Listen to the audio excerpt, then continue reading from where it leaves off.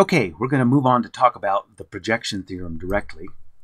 And so in looking at the projection theorem, we're going to let E be the projector, the projection operator, the self-adjoint projection operator onto M. Remember, we said that if for any subspace there is a projector that projects the entire space onto the subspace.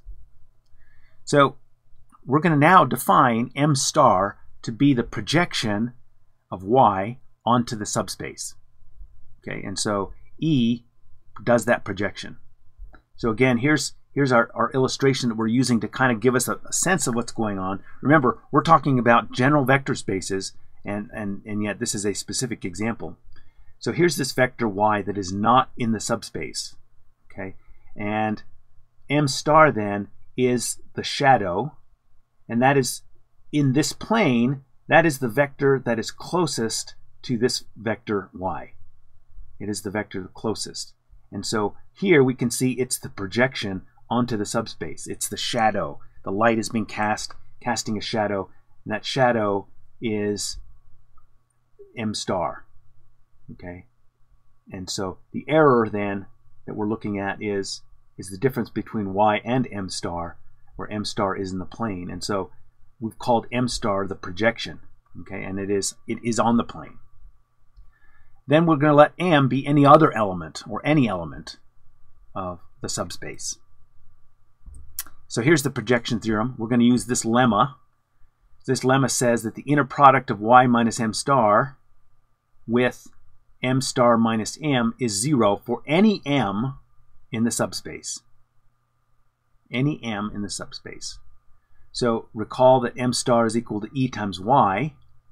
And so note that m minus m star. So remember, since m is in the subspace, then m is equal to e times m. Remember, the projector projects back onto itself. And so anything in the subspace getting operated on by E is back to the same point. So M is equal to E times M, and M star is equal to E times Y. So M minus M star, which is in M, is also equal to E times M minus M star. So when we actually look at this inner product, we have Y minus E times Y, and then m star minus m is equal to e times m star minus m. By, by the property of the adjoint, I can take this e over to the other side of the inner product adjoint. Okay, so that's just the property of the adjoint. And I recall that the, since E is a projector, it is self-adjoint, so e, e adjoint is equal to itself. When I multiply it out, when I multiply this out, I get e minus e squared. But because e is a projection, e is equal to e squared. And so that's equal to 0 times y. And so I just get the this inner product is equal to 0. Okay, so that that's a lemma that we can use uh, to prove the projection theorem. So here's the proof of the projection theorem. I'm not going to go through this now. Again, this is this is I will talk about this in the lecture about proofs. So poof, we move on. All right. So in general, if we have some vector y, we can always write it out this way. We can we can multiply by the projector plus i minus the projector. So in other words, this quantity is just the identity operator. Okay, and but because of distribu distributive property, this is equal to e times y plus i minus e times y.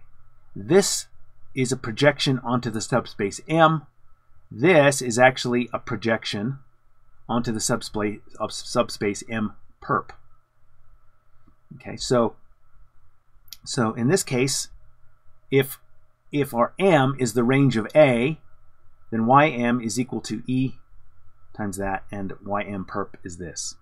So we can we can easily show that. Right? In general, for any x in the subspace, x is equal to e times x. And since e is self-adjoint, then we have this. x inner product with ym perp. So ym perp is i minus e times y. x is equal to e times x. So here I'm, I'm looking at uh, n-dimensional vectors. But again, I could move this e over to the other side and do the inner product. But otherwise I can do it like this. x adjoint e x adjoint e adjoint. But e is self-adjoint, and so again we get 0. This holds for any x in the subspace. So what this shows is that the y that we called y m perp is indeed in m perp. That is, it is orthogonal to m. It is orthogonal to any x in it. So here I chose x to be any x in m. And y, y m perp was orthogonal to that.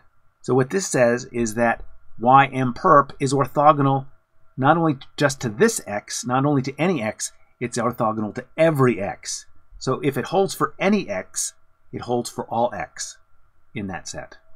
Therefore, y m is orthogonal to this entire set, and the, therefore is in the orthogonal complement.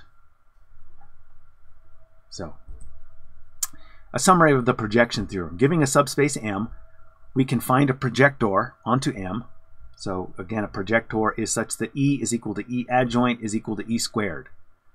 Okay, we have these this these two equations basically define a projector. So for a given y not in the subspace, to minimize this, we choose the projection of y onto m. That is, m star is equal to e times y. That's what the projection theorem says. So the projection theorem requires a projection, or a projector, and, and so we have that.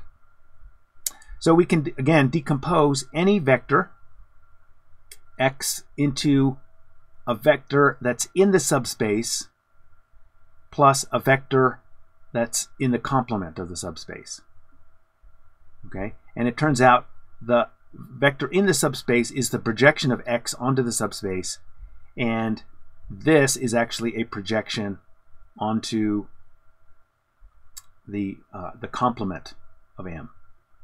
And you can go through and show that this, so here I've said this is a projection. You can go through and show that this is indeed a projection. That is, if I take this quantity and square it, I will get this self itself back. If I take this quantity and take the the uh, Hermitian transpose of it, the adjoint, I can see that it's self-adjoint as well. Also, for any subspace M, we can find the projector E. So if we find a, to, in order to do this, we find uh, a basis for that subspace. In other words, we set, find a set of linearly independent vectors of this subspace. From that, we form the operator F from the, from the basis that we get. Okay, we find the operator F. From that, we obtain the adjoint of F.